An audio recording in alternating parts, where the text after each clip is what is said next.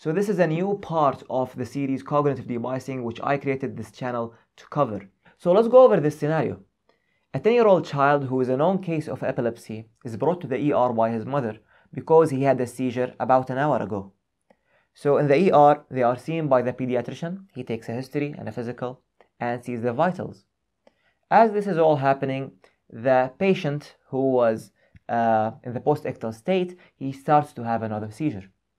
So um, the physician now starts with the ABCs and a glucose check and establishes uh, IV access. And later on, he starts lorazepam. The patient recovers and he gets a little bit better and the seizure is aborted. The physician goes back to his desk to start writing the notes and the, and the admission file. A little bit of time passes and then he looks again over the vitals and he notices that uh, the patient has fever. Not only that, but the mother was saying that the child actually has been complaining of a headache starting from that morning. He realizes that he has made a mistake and he missed the probability of him having this seizure not actually due to his epilepsy, but actually due to another pathology, which is meningitis. So the doctor goes back to the mother, and because he was interrupted from his earlier history because of the uh, seizure that the patient had, he continues asking the questions that he had previously ignored. So uh, he realizes, of course, that he had fever, headache, and he vomited also once. The uh, further evaluation is carried out, a lumbar puncture is done, and he is really diagnosed with meningitis. What happened here is called the posterior probability or known case bias. That is what I like to call it.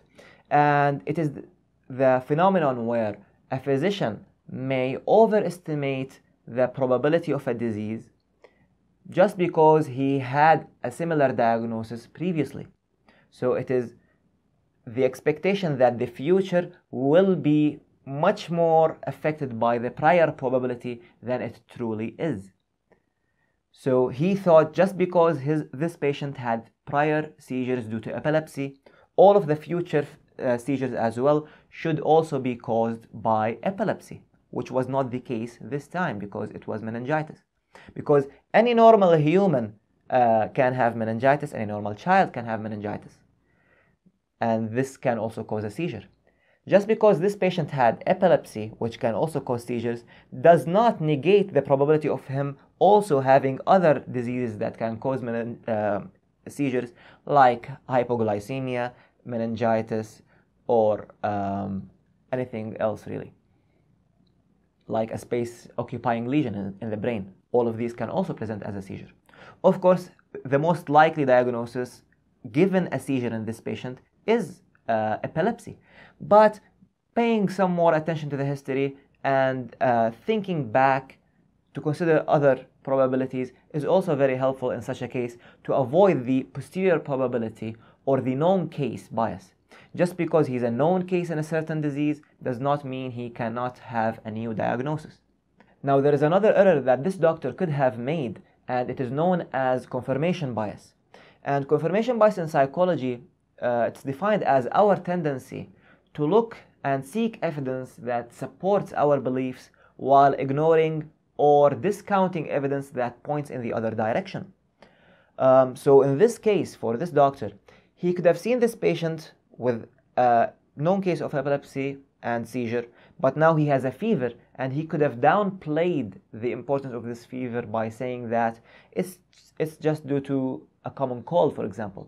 Or he could have heard about the uh, headache from the mother's history, and he could have downplayed it by saying, that it's due, due to her being neurotic or too worried about her son and saying yes to all the questions in the uh, history taking process.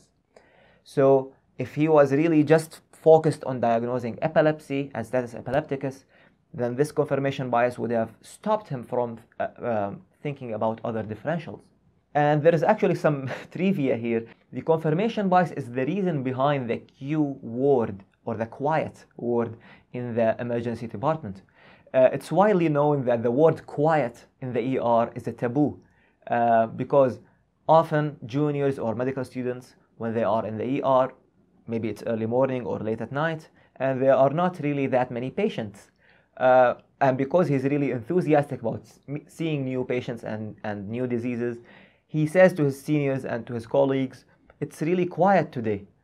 And everyone starts yelling at him, Why did you say that? Why did you say the Q word? And now patients start flowing in and filling the beds because he said this word. So actually, confirmation bias is playing right here behind the scenes because the physicians or the doctors uh, in the ER now start noticing the patients more after the Q word has been said. But of course, if you if you do a statistical analysis of the day throughout, whether you said the Q word or not, it's not really gonna manipulate patients into coming to the ER. But it's mainly the others or the workers there noticing the patients more uh, after hearing that Q word. So thank you for watching. I hope this was helpful to you and see you next time with a new bias.